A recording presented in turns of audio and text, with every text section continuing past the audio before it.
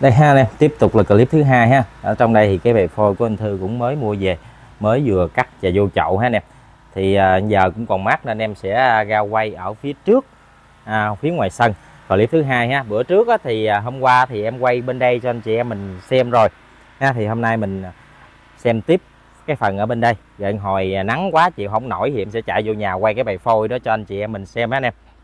Ở clip anh em mình à, xem đã ha. Mấy cái cây hàng xịn xịn xịn không nè. Hàng đúng chuẩn sưu tầm cho anh em mình ha. Rồi hôm nay mình quay bên đây. Bên đây một cái bờ bên đây còn đã lắm anh em, chứ không phải là riêng gì bên đó không ha. Một cái sân nhưng mà tại trẻ làm hai cái đường đi vô nhà nè, nên em quay mấy bên tay trái trước hôm nay em quay phải ha. Mấy cái cái hàng này, cái cái thân nó này nè. Thân nạt cái này hiện giờ nó còn um tùm quá nên mình không có chi tiết được nó ha. Mình cho qua sớm cái đi, mình vô mình quay cái cây dưới bồn này trước cho anh em mình ngắm cái cho clip này nó đã khúc đầu một cái nha.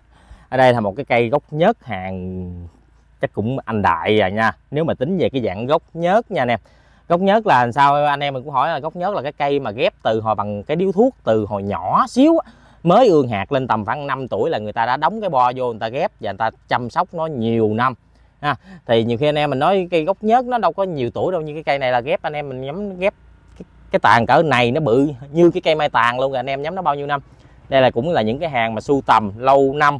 Ha, những cái cây xưa người ta sưu tầm về đây người ta trồng ở đây nè này, cái khung tàn nè. Ở đây thì cây này cũng gọi là cây khá cưng ha làm nguyên cái lồng chim cho nó nè.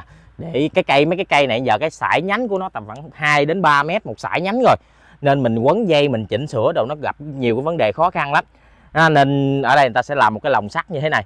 Để cái nhánh nào mà cần kéo lên hoặc là nhánh nào cần kéo qua kéo lại kéo xuống gì đó thì người ta sẽ chằng dây như vậy nè anh em thấy không? Người ta sẽ chằng dây người ta kéo nó nó sẽ tiện hơn. Chứ còn mà nguyên cây về mà để vô dây mà mình chỉnh sửa thì nó gặp rất rất là nhiều khó khăn. Còn đây là cái bông nè nó có đây ghép già mùa. Đó thì cái bông nó bông nó rất là đẹp như thế này. Bông dảo ha bông dảo hữu đức rất là đẹp.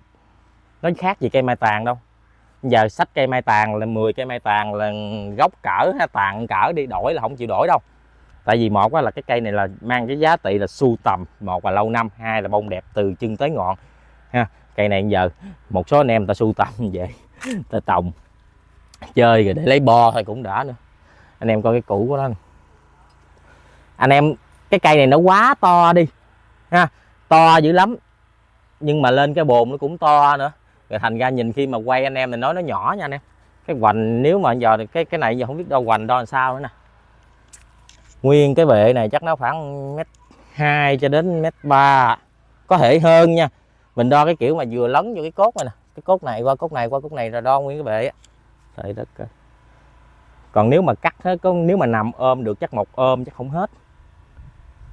Cốt ghép nè cái cốt ghép như vậy mà nó đi ra cái sải nhánh khoảng 2 mét ngoài như vậy nè. Trời ơi. Cái hàng này nó mát nguyên một vùng tời luôn á anh em. Cái lồng sắt này chắc cũng khoảng là 4 mét rưỡi 5 mét. Anh chủ đi uh, chở khách chở khách ra ngoài xe. Clip hôm qua của nói ha, có mấy anh khách ở xa xuống chơi. Thì sáng em vô cái gặp luôn mấy ổng ờ, mới về. Ừ lồng sắt em biết trời ơi, cái này chơi xứng đáng luôn anh em. Đồng ý nó không có có có có bằng những cái cây hàng xịn kia đi, nhưng mà nó, cái củ nó quá đẹp. Với nó mang cái tính chất là sưu tầm, nó khá là cao ha. Cây thuần cây thuần từ nhỏ mà lên đây, anh em nhắm bao nhiêu năm tuổi nó mới được cái bộ xương, bộ tàn như thế này. Cây này tết mà lãi lá ra cái thì một dùng tời luôn bông nó bông 8 12 cánh, bông dảo không? Cái này có thể là gọi là đẳng cấp anh em, nếu mà tính giữ dạng cây gốc nhớt ha. Đẳng cấp một vùng á.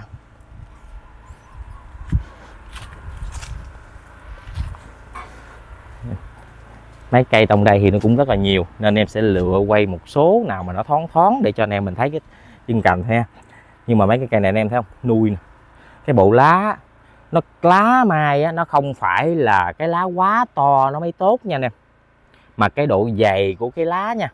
Cái lá ví dụ như một cái lá của thủ đức đi đường kính nó mình đang tính trung bình nha cái đường kính nó tầm khoảng 10 phân đi. Nó tầm khoảng 7 phân 8 phân là nó đã đã, đã chuẩn rồi. Nha cái bản lá bự nhất nó 10 phân nhỏ nhất nó 5 phân mình lấy cái khoảng giữa là 7 phân đến 8 phân cái bản lá là ok rồi. Nhưng mà cái chất lá phải dày cái chiều dày cái độ dày của cái lá này nè nó phải dày cái cây nó mới sung. Chứ không phải là nó to mà nó mỏng. Nếu mà nó to mà nó mỏng á, là cái cây bị thiếu nắng. Thiếu nắng là nó sẽ to nó sẽ mỏng cái lá đi. Còn cái cây của mình nó đủ nắng đủ sức là cái lá của mình nó vừa cái bản lá nhưng mà nó sẽ dày. Cái chiều dày của cái lá này mình cầm cái lá giống như mình cầm cái tờ tiền vậy đó. Anh em mình cảm giác mình bóp vô là nó sẽ nó nó cứng nó nó làm nó gãy những cái cái sợi trên đây nè nó làm góp góp góp còn những cái lá mà nó thiếu nắng á, mình bóp vô nó mềm mèo giống như một cái tờ tiền giả vậy đó. Nó không có cái độ nảy lên nha chỉ nhiều khi anh em mình nói tội cây phú cây phú tân nó sao lá nhỏ như vậy? Hoặc là cây thủ đức nó sao lá nó nhỏ như vậy bộ nó lá me hay gì không phải nha. Mình phải coi cái độ dày của cái lá nó mới chính xác nha. Tất cả cây kiển luôn bông trang nguyệt quế anh sam gì lá không cần to nó vừa nhỏ hơn cái cái mặt định nó một tí nhưng mà cái độ dày của cái lá nó mới quan trọng. Đa số những cái cây này là hàng già thôi mấy hàng này thì đi cho thuê bông cốt cành, già. Sáng ờ, cúp điện rồi có khách nên chủ, giờ anh đang tưới, chủ vườn. Tưới gì cực, anh em tưới ờ, cây này đa số là chậu mỏng á. Mình tưới đi, tưới lại, tưới đi, tưới lại nó mới thấm vô được ha. Vài bữa thì em sẽ làm thí nghiệm cho anh chị em mình coi. Mình xách ba cái chậu ra mình tưới. Tưới như thế nào để nó thấm ướt hết cái chậu của mình, chứ không phải là cứ bơm vô đầy một chậu đó rồi mình tưới cây khác thôi nó nó sẽ đi theo cái giọt nước anh em, cái lằn nước á, nhiều khi một cái chậu bự. Mình tưới vô xong rồi nó sẽ lọt vô những cái kẽ đó, nước nó sẽ chảy ra ngoài chứ nó không có thấm vô hết cái cục chất trồng của mình được. Nên mình cần phải đi tưới đi, tưới lại, tưới đi, tưới lại, tưới đi, tưới lại. Tưới hai cho đến 3 lần, nó mới thấm đều được cái cái chất trồng của mình nha anh em. Chứ không phải là cứ tưới bơm đầy vô gọi cái thì thôi đâu. Tưới vậy là buông ra cây của mình nó không đủ nước, nó bị khô cục nhân hết á. Ừ. Dàn xương dàn cành, cây này cũng bị sụ lá nè anh em, tại vì nếu mà anh em có coi clip ngày hôm qua thì anh em sẽ biết nguyên nhân nó tại sao bị vậy tại vì như cúp điện sáng có khách tới 10 giờ. Giờ em đang quay clip này là 10 giờ mấy nè. Nên quá nắng nè 10 giờ 17 cái nè 10 18 rồi. Nên nó bị quá nắng nên nó bị xỉu. Tại vì đa số là cái này là vô cái chậu nó rất là mỏng, mà cái tàn thì nó lại to, mà vô cái chậu mỏng. Bởi vì vô cái chậu mỏng mình kiểm soát được cái lượng nước nó nó không có bị dư nước nhưng mà bị một cái là nó sẽ mình phải cực canh nước nó một ngày mình có thể là tưới một cho đến hai lần. Những cái ngày nắng quá thì mình phải tưới từ 2 cho đến 3 lần đổ lên. À, nên mình cực nè lá nó bị xì sụp nè thấy không? Nhưng mà anh em chẳng thà chịu cực để tưới nhiều lần chứ không có chịu mà vô cái chỗ to để một tuần tưới một lần. Nếu mà một tuần mình tưới một lần thì hầu như là nó sẽ không có tốt. Ừ, cho dù nó tốt đi 10 cây nó tốt hai cây à mình không có kiểm soát được cái lượng nước của nó là nó nó nó nó không có, nó phát triển ngon lành được. Nên ở đây chẳng hạn ta chịu cực ta tưới một ngày hai lần, ba lần như vậy đó. Nhưng mà người ta khoái hơn. Tại vì cây người ta tốt tốt điều tốt cây. Anh em thấy toàn bộ là chậu mỏng không, nhưng mà nó tốt như dày đây nè. Đó. Đúng không? Chứ nếu mà vô chậu nhỏ, chậu mỏng mà nuôi không tốt vậy, ai tự nhiên khùng hay gì, tự nhiên mua về đè, cắt nó vô cái chậu nhỏ, cắt rễ nhiều chi cho nó chết. Đúng không? Cái gì nó cũng phải có cái cái cái cái cái, cái mức độ quan trọng của nó hết nha nè. Vô chậu nhỏ cắt rễ như vậy nhưng mà khi mà cái cây mình nó sống nó khỏe mạnh rồi nó tàu bò lắm. Ha, buồn gà nó nó không có bị hư bậy nó không có bị úng rễ. Mình giờ cái cây mà em mua ví dụ như em cũng vậy đi em mua được một cái cây chậu mỏng chậu nhỏ đã xử lý từ hồi đầu như vậy em mua vậy em rất là an tâm. Em chơi em cứ nghĩ là chơi 5 năm 10 năm nó, nó sẽ không có bị hư rễ. Còn đối với những cái cây chậu to vậy giờ em phải móc ra em cắt rễ cái nhiều khi em thấy nó lũng trong bụng rồi đó. Nè cái xương thành xương tàn hôm qua thì mình coi những cái hàng bonsai lùng liền đẹp ha. Còn bên đây là nghiêng về cái khâu là cây già cây tàn lớn phôm cao. Để làm chi? Cho thuê. Mình đánh hai ba mặt khách hàng khách hàng. Khách muốn mua đứt cây chơi hàng bonsai vip thì có cho khách. Khách muốn thuê về cây tàn lớn bông đẹp bông bự bông đẹp tàn lớn cây già mùa để mình trưng bày cửa hàng, khách sạn, công ty gì đó, năm, bảy ngày xong, tôi thả cây lại về cho vườn. Thì mình vẫn có cái cái nguồn cây để mình giao cho khách. Chứ đâu phải khách nào cũng muốn mua đứt cái cây đâu. Và cũng không có khách nào cũng chỉ đi thuê cây thôi. Nó sẽ chia ra rất nhiều khách. Khách chơi có tiền, khách chơi cây lớn, khách không có tiền, khách chơi cây nhỏ. Ha khách có bãi có nuôi có đam mê người ta mua đất cây. Khách không có có có có, có biết chăm sóc không có nuôi. Và người ta làm cái công việc khác thì người ta chỉ thuê thôi. Người ta đam mê mai may mắn tết là chừng cái xong. Cái xương thành à, tại sao người ta không sắm những cái cây mai non để người ta đi cho thuê? Tại vì những cái mai mai non nó nở hầu như là nó sẽ không có hết sức của nó nên người ta sẽ đầu tư qua những cái cây già như thế này để người ta đi cho thuê hàng năm để người ta rút cái chi phí ra. Thí dụ như giờ cái cây này mình bán đứt 50 triệu đi đây là đang tính nha chứ không có chắc chắn. À, đi cho thuê 15 triệu mình chịu cực đi cho thuê 3 năm thì mình sẽ lãi ra được một cái cây như thế này. Mà trong phòng không phải là thuê 15 triệu đó là nuốt trọn 15 triệu đâu nó cũng sẽ có nhiều vấn đề xảy ra lắm. Chứ để nhiều khi anh em mình lại nói là cho thuê vậy ai không biết sao không ai đi cho thuê hết trơn mà người ta đi bán à, đứt không đúng không? Khi cho thuê như vậy, một là mình phải chậu bọng sạch sẽ, mình còn nhiệm vụ trên cái cây của này, mình phải chăm sóc tới cái ngày cuối cùng hoa nó đạt để mình đưa tới cái khách hàng. Rồi bông phải to, phải bự, phải không rụng, rồi nở phải đẹp, phải chuẩn nữa. Đó, rồi cộng thêm cái tiền xe mình chuyên chở lên xuống nè. Rồi, lúc mà mình lấy cây về là mình phải chăm sóc, phân thuốc, tưới tắm trong vòng một năm sau nữa. Nhiều khi có những cái cây nó nở bông nhiều quá, nó sẽ bị suy suy cây thì mình phải nuôi dưỡng, chăm sóc lại 2 cho đến 3 năm nữa, chứ không phải là đi cho thuê bán hàng năm, mỗi năm năm nào cũng lụm 15 triệu 15 triệu hết. Nha rồi nhiều khi có những trường hợp xui rủi đi đi ra nhiều khi gặp nhiều khách hàng, người ta không có cưng cây, người ta bỏ trong phòng máy lạnh, bỏ trong nhà của người ta thì người ta sẽ không có tưới nước. Người ta sợ tưới nước ra nó dơ nhà của người ta nên người ta sẽ bỏ khô luôn. Bỏ khô luôn thì cái cây của mình nó nở bông. Nó nuôi bông rất là nhiều nhưng mà nó không có nước để nó nuôi cái bông mà nó sẽ hút nhựa của cái cây, nó nuôi cái bông, thành ra cái cây của mình nó bị khô nhựa, khô phân, khô thân và khô gỗ, khô cục nhân luôn. Nên nhiều khi mình xách cái cây về mình nuôi cho năm sau nó chết queo luôn. Nhiều khi cây đó mới mua 50 triệu về đi cho thuê được có năm đầu tiên lấy có 15 triệu, năm sau mua về cây nó chết queo luôn. Đó, thì gặp những cái trường hợp xui rủi đó nữa chứ không phải là cứ mua 50 về đi cho thuê 15 triệu năm, thuê 3 năm là mình lời cây mai nó cũng chưa chắc đâu làm gì nó cũng phải có xui rủi. Kể cả nhà vườn chuyên nghiệp ở đây người ta còn là bị xui rủi, chứ đừng huống chi anh em mua cái cây đó về tôi chưng tết tôi chơi tết. Cái năm sau nó chết tiêu. Cái ông đó mua bán lừa đảo, không phải đâu. Cây mai nó chết, nó rất là nhiều nguyên nhân để chết, chứ không phải là nói nó khô nó chết cũng không đúng, nó nở nhiều quá nó chết cũng đúng, hoặc là nó bị phạm phân nó chết cũng không đúng. Nói chung là sẽ rất là nhiều. Ha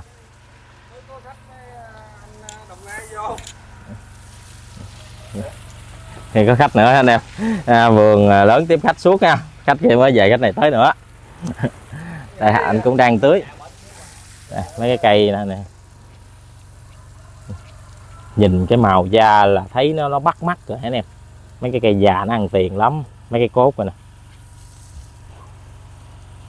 Nói chung thì làm cái nghề nào cũng phải gặp cái vấn đề khó khăn chứ không phải là suôn sẻ ngay từ đầu đâu.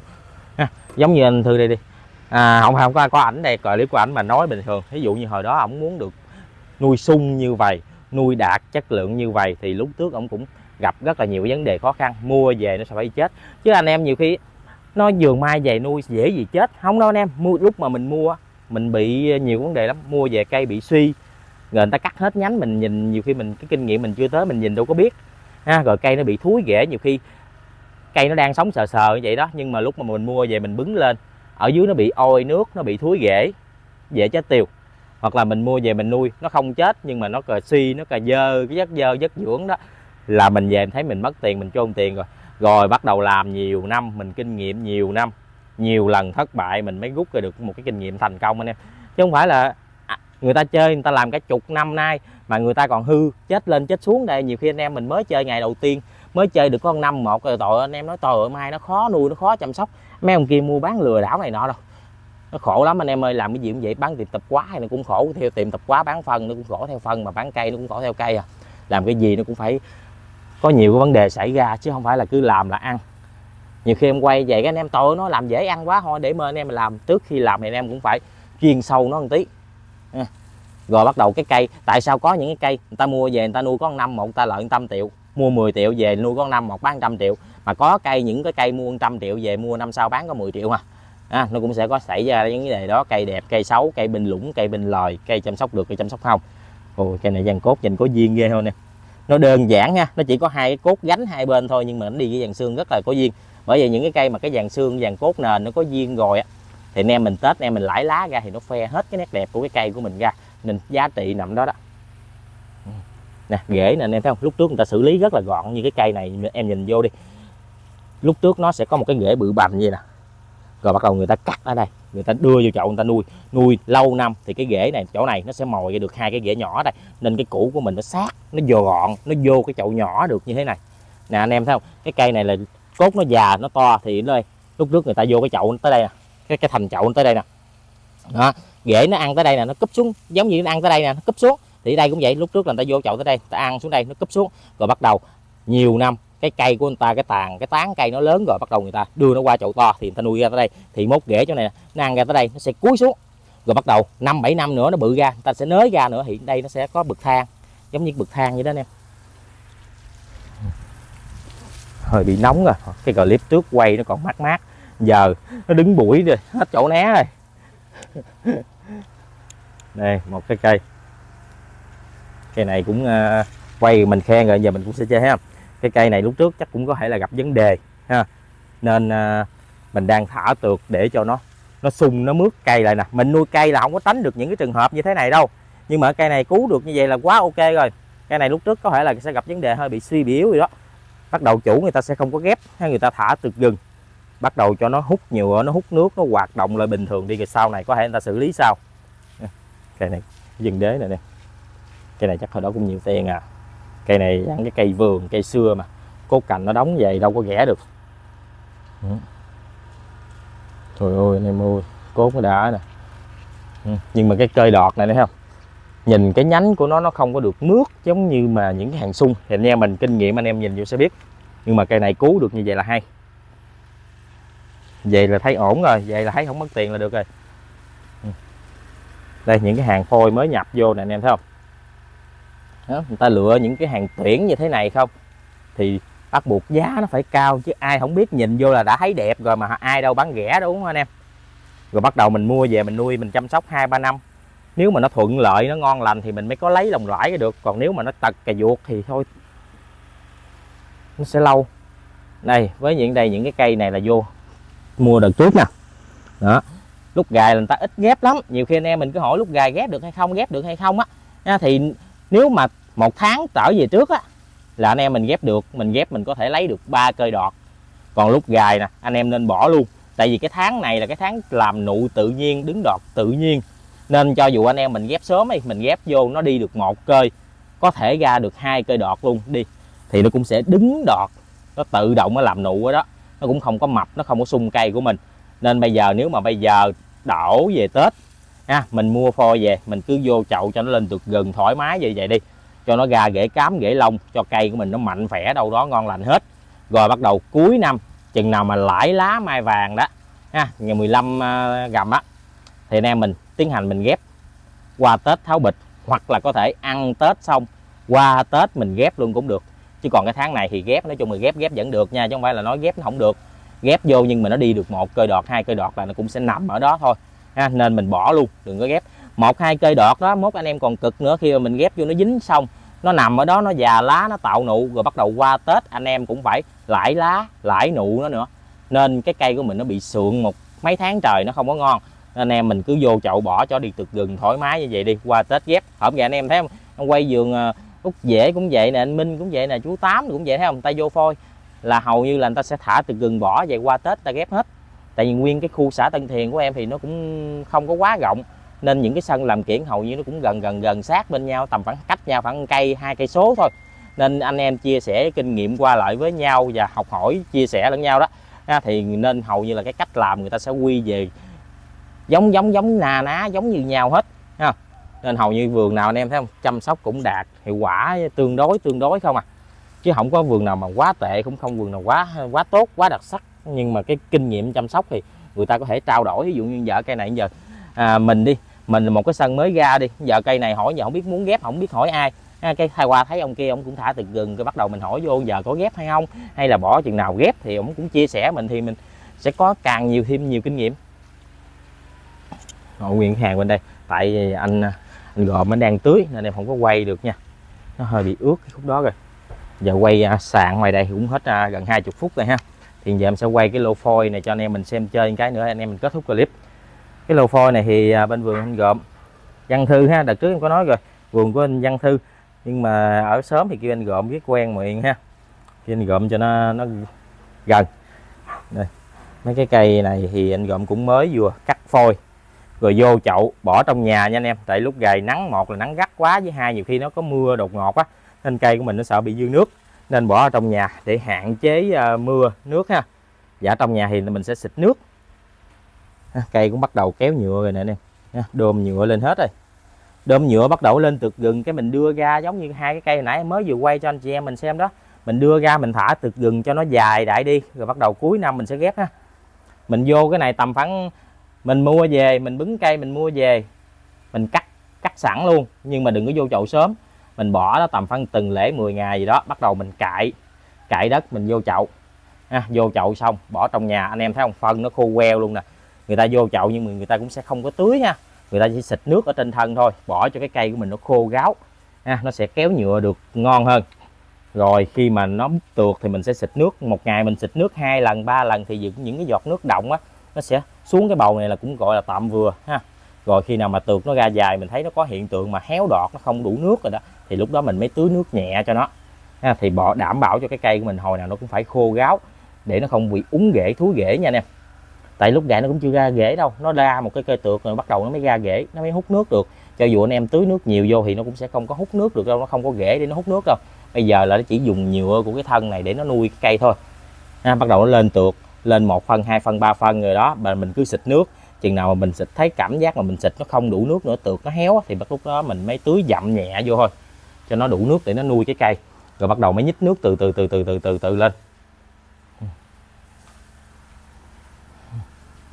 Nè, giờ người ta xử lý phôi rất là gọn ha. Cây người ta cắt gọn, người ta vô chậu, chủ yếu là xịt nước thôi. Mấy cái phôi à, phôi này thì nói chung nó cũng nhiều, nhưng mà ở đây hiện lựa những cái cốt mà nó sạch cốt ha, nó không có bị gối cốt nè sạch cốt. Để uh, cốt cành nó đóng chuẩn chuẩn một tí. Để sau này mình khi mà mình làm ra một cái cây thì nó sẽ thông thoáng cái cây. Nè, như cây này mặt tiền bên đây nhìn cái cây này em thấy mới cái phôi không là nhìn cái dách cây với cái cốt cành nó đóng là chịu không nổi ha.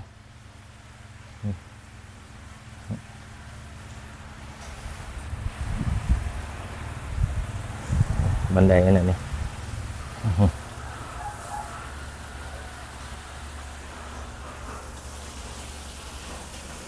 Có mấy cái cây đổ này.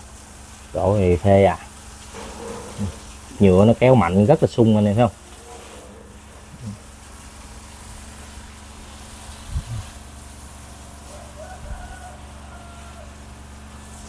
Kéo sung thấy ghê không?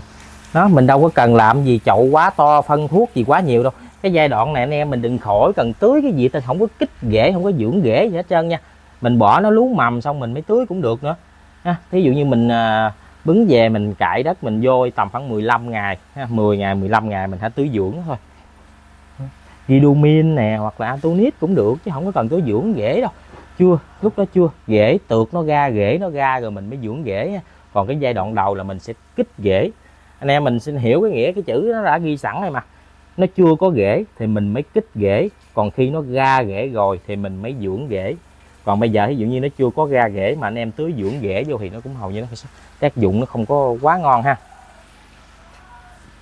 Ừ, vô bài phôi, vô xong, để trong nhà, xịt nước, rồi lên tược đâm ra ngoài. Bài này đẹp quá, bài này chung hàng mini nhưng mà hàng rất là tương lai ha. Có một số cây đổ này, cũng khá nét cây ha. Cây đổ này nó chưa có cốt cành nhiều, nên bắt buộc mình phải ghép, mình nuôi, mình tái dựng thêm nha nè sang tưới cũng cả buổi, hôm nay cúp điện.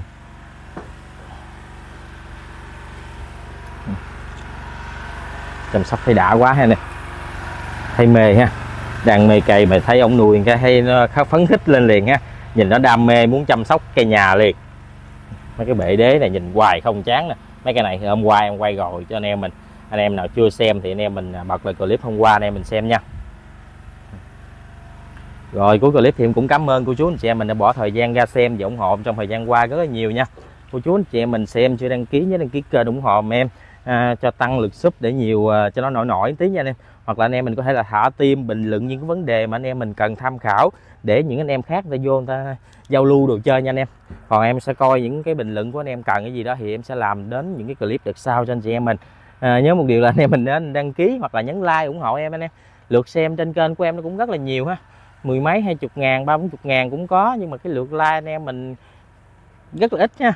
Tại vì nhiều khi có một số là cô chú chị em mình cũng gặp em cũng nói tại tao coi cái mày là tao coi tivi không mà tao già cả rồi tao không có biết đăng nhập hoặc là nhấn like ở đâu ha thì anh em mình à, có gì à, anh em nào biết gành thì anh em mình có thể là đăng ký kênh à, ủng hộ like cho em để cho nó tăng tương tác cái kênh lên hoặc là anh em mình có thể thả tim vô trong cái video nè để cho nó tăng tương tác lên khi mà mỗi lần em lên clip thì nữa.